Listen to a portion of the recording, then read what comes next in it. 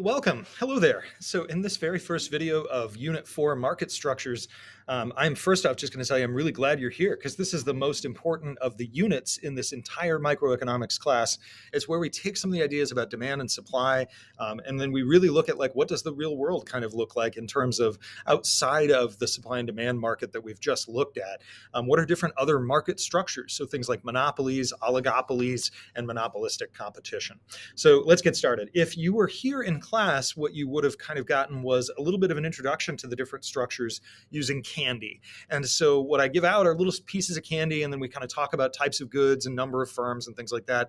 That's the simulation that we would have done here. I'm sorry if you weren't in class, you didn't get the piece of candy and the explanation as well that went along with it. So I'll do my best. Um, this lecture is really just about kind of explaining and introducing you to the basic market structures. And then the bottom part is actually a review of perfect competition and kind of just giving it a name and saying, hey, this is the thing we've been looking at the whole time. So let's get started. Um, with a monopoly, the number of firms is one mono one firm, right? Most people know that. Um, and so we would say that there is a complete, right? Complete control over the price. Another way that we would say is that this is a price maker, price maker. They actually get to just choose what the price is going to be, um, and they choose the price and the quantity that they're going to actually produce. So we'd say they choose choose the price and the quantity. Now, they're still subject to the consumer demand. They can't just charge like ex- exceptionally high prices. They, they sometimes will, and they will charge higher than what a competitive market would do, but they are still limited by consumer demand, we would say. Um, they also have different types of goods that these different kinds of market structures generate. If it's a monopoly and there's only one firm producing it, then it has to be a unique good actually so it's a type of good that you can't swap out with something else otherwise there would be more firms that are generating it and typically, um, with monopolies, they have very high barriers to entry, right? So, barriers to entry means that it's difficult for new companies to open up. Sometimes we would say they're legal, right? And sometimes they're more um, in terms of like resource control, right? Resource control. And then sometimes it's just like high fixed cost, so there are different reasons why there might be actually really high barriers to entry, um, but it could be a legal thing. It could be that there's a, a, patent, right? For example, any kind of a patent or a copyright on a particular product means there's a monopoly on that product. So it could be legal. Um, it could be a regulatory legal thing that says we only are going to allow one water company to operate in this area, right? Sometimes that just makes sense. Sometimes it could be resource control. It could be that they have a very um, strict ability to control the particular resource that they're selling. Maybe the company has bought up all of, for example, the nickel mine mines. Um, for many, many decades, there was one nickel mining company that actually owned an enormous amount of nickel all around the world, the metal nickel. And so they had a monopoly on it just through resource control. Other companies sometimes have very high fixed costs to start up. So a water company or an electric company, and it's very difficult to break into that market because you would have to spend a huge amount of money setting up power plants and transmission lines and things like that. Even if you had a legal ability to separate and create a new electric company, you just would have such enormous startup costs that effectively the pre-existing electric company operates as a monopoly because of that high fixed cost mm-hmm. startup. So then we have a second type of market structure called an oligopoly. Olig means few, and so we're going to say two to about ten, um, two to about ten, and the two would be a duopoly, right? Two companies. Eh, typically, we'd say that any more than about six, seven, or eight large companies in the market basically ends up um, not being an oligopoly anymore. The key characteristic here is that there's few enough that they are interdependent. And that's a word you're going to hear interdependent, dependent, interdependent. That means that the outcome of one is affected by the decisions of the other. They're interdependent on each other. And so they have to kind of make different decisions about how much to produce and whether they're going to price high or low. And it actually uses a branch of mathematics called game theory that that's how they make those decisions. And so we'd say they have some control over the price, um, and we would classify them as a form of a price maker in a way, but it's often still going to be interdependent on what the other firms are doing, right? So they have some control. They can say, we're going to price high, we're going to price way up here. But at the same time, the outcome of them doing that will be affected by what the other firms decide to do because there's few enough of them. And when we talk about kind of types of goods, another way to think about this would be examples, right?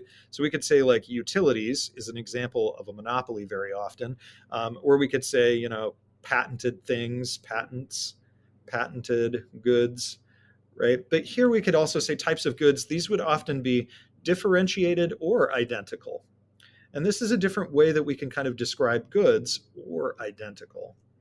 What that means is that the kinds of goods that oligopolies produce are sometimes a little bit distinguished from each other. So, for example, the airline industry is a good example of the oligopolies, right? So, airlines. And you could think about that like different airlines have different kind of ways that they distinguish their product. You have JetBlue, which kind of focuses on business travelers. You have Southwest, which kind of focuses on families. You have, say, American Airlines and Delta Airlines, which are called flag carriers. Those are kind of considered like the, the gold standard of operations. You have some kind of really cheap ones that are like Frontier. They, they're kind of for the budget minded travelers. So they differentiate their products. Another one would be cars, right? There's about two to so 10 or so car companies, and they differentiate their products. There are some oligopolies, though, that sell identical products. And oftentimes those will be kind of producers of raw materials.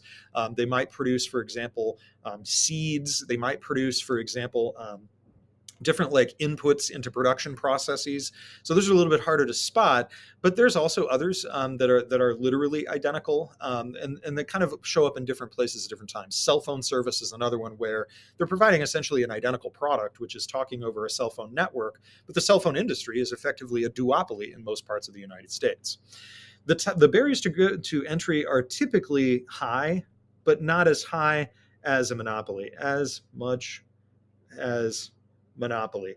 And so, you know, you can kind of think about how hard is it to start an airline company or a car company? In the last hundred years in the United States, there have only been a handful of new car companies that have actually become successful. Um, the rare success story is actually Tesla. And for most of its early history, Tesla was not profitable. So for a long time, people weren't sure even if Tesla was going to become a viable company. And even today, there's still only, you know, there's still only a very small part of the overall market, right? The oligopoly of Toyota, Honda, Ford, General Motors, and Stellantis is still a dominant kind of oligopoly in the United States for new car sales because it's such a high barrier to entry. There's high fixed costs to start up. There's a lot of legal issues. Think about cell phones. It's the same issue. Airlines, huge startup costs and that kind of stuff. Airlines also have the resource control. You may not know, but when you land in a particular gate in an airport, that airline has kind of reserved and paid for that gate. And so there are a limited number of gates at most major international airports. So we would say that airlines also have kind of a little bit of that resource control in terms of why there would be barriers to new companies opening. The third type of market is called monopolistic competition. And this one is basically the type where there's a little bit of perfect competition and there's a little bit of this kind of oligopolistic and monopolistic side thing. It's a mix of both. This is where we're talking from about 10 all the way up to maybe 100 um, number of firms. And they're not interdependent. They're not interdependent. That means that the choice, interdependent, I got to take a second to spell. The choice basically about how to produce and how much to produce and all those things, it's not going to really be affected by what the other companies are choosing to do in these circumstances. Oh my, the sun just came out. Whoa, that's really bright. Um, so sorry if this gets a little bit difficult. Holy smokes. Let's see if I can block that view a little bit. Oh my gosh, I'm being blinded. Blinded by the light. I don't know the rest of the word. That's slightly better. Okay, good. There. Um, control over the price. We'd say that monopolistic competition has, again, some, but very little in the sense that for them, they're really still going to be focused where MR equals MC. That's how they're going to decide to produce. Um, and this, this one up here is as well. But when we kind of come back and talk about this, we'll say that basically they get to choose, but they're going to be affected to some extent also by other market forces, by other companies entering the market and leaving the market. We'll come back and we'll look at what that means later. Um, examples of these would be like restaurants, right? Restaurants, retail, so, any kind of sh- stores, grocery stores, are a great example of monopolistic competition. Because typically in a given geographic area, you've got a couple dozen in a large geographic area. You've got a couple dozen of these types of stores um, in any given area. And so they are monopolistically competitive. What that means is that there's too many of them to be interdependent, like an oligopoly. Now, if you were in a really, really small town and you only had, say, two restaurants, then it could be an oligopoly, right? Um, and, and so that is kind of a thing to think about is like talking about the geographic area, the reach of the particular firms. Likewise, these also produce differentiated or identical products. Sometimes, you know, you're talking about a grocery store, they sell differentiated products. It's a little bit unusual for them to sell identical. So we would say that they're mostly going to be differentiated. And again, differentiated here just means that the firms make an attempt to distinguish between their products. They say, mine's better than this one. And maybe it is in terms of quality, or maybe it's, you know, that they get there a little little bit faster, right? When we were talking about airlines, maybe we're getting there a little bit cheaper. The seat's going to be less comfortable, stuff like that. When we say barriers to entry here, we're going to say relatively low, but they exist. And what that means is that firms are going to be able to enter and exit. Firms easily, and we're going to say easily, enter and exit and they enter and exit in response to profit and loss. And so that's going to be another feature when we get down to this level for perfect competition is that firms will enter and exit instantaneously. There's essentially no difficulty in starting up a new company or shutting down.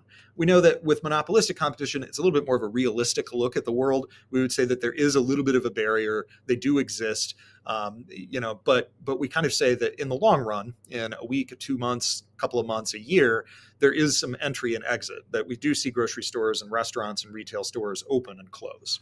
The last type here would be anything where it's maybe greater than 100, right? So lots, so many that none affect the price and quantity alone. So, all by themselves, none of them in perfect competition would be able to actually affect the price of the quantity alone. There's so many firms producing this product.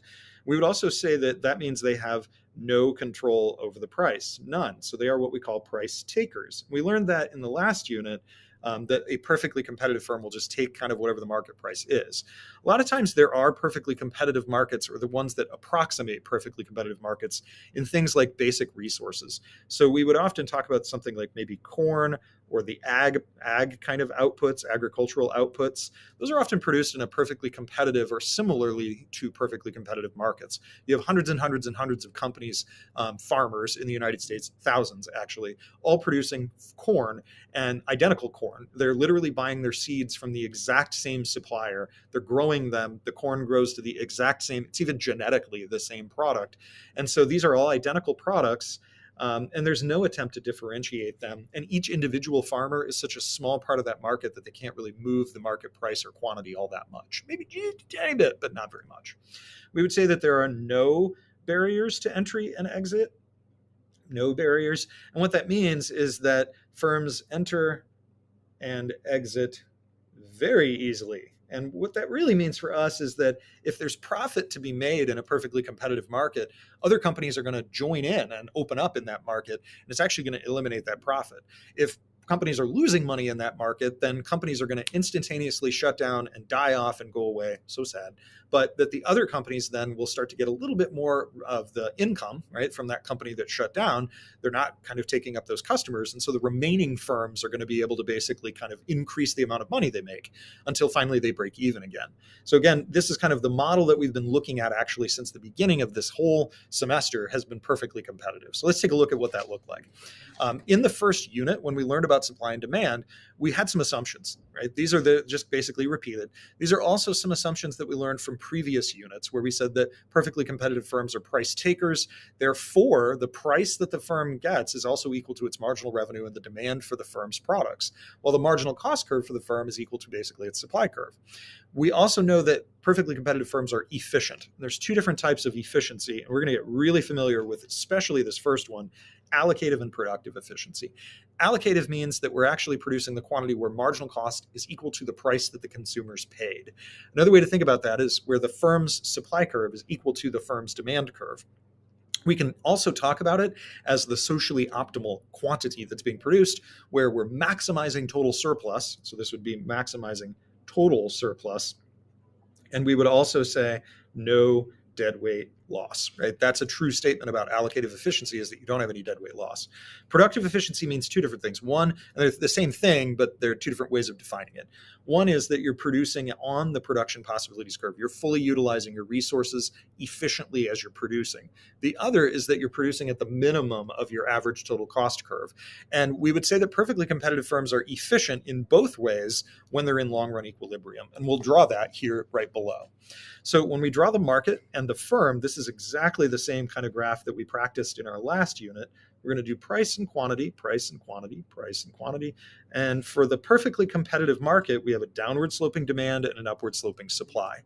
There's going to be an equilibrium quantity in the market and an equilibrium price in that market. And so we've done that one, we've done that one, we've done that one, we've done that one. And then we're going to go across, dash line all the way across, and we're going to do the price that the firm charges is the same as the market. That's telling us this firm is a price taker. We go straight across and we say marginal revenue is equal to the demand that the firm sees for its products. That's what the F stands for, is that telling us this is the demand for the firm's products. I know this is a, a little wonky, but it should be a horizontal line. Then we've got a marginal cost curve here that's effectively equivalent to the firm's supply curve as long as we don't include that little tail hook at the beginning there. Everything past that is the firm's supply curve. We know that the equilibrium point is determined by where MR equals MC. That's where the firm profit maximizes. So we'd say quantity the firm produces.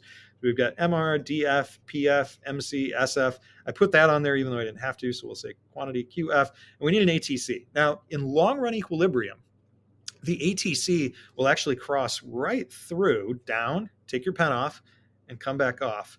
ATC. It'll look like that. And this is what we call long run because this is actually the firm breaking even, right? Notice here, minimum ATC. So we are productive efficient. Ta-da. In addition, we are where here is MC equals the price and supply for the firm equals the demand for the firm. So we call that allocative efficient. And so we actually are efficient, right? We're producing at minimum ATC, that's the productive efficient point, and we're allocative efficient because the marginal cost is equal to the price that we charge. So there are kind of two tests there, and there is no deadweight loss here. We are um, breaking even because P equals the ATC at QF. And that's basically telling us that this firm's earning normal economic profit. Normal profit or breaking even. That's the same same thing, means the same thing. Zero economic profit, the firm is breaking even at ATC equals the price, and that is also true in equilibrium. So this gives us kind of the basic overview of perfect competition, long run equilibrium, and then introduces you to some of these market structures. Hopefully this didn't take us 40 minutes to do, but I'm sorry you didn't get any candy. Uh, I'll see you next time.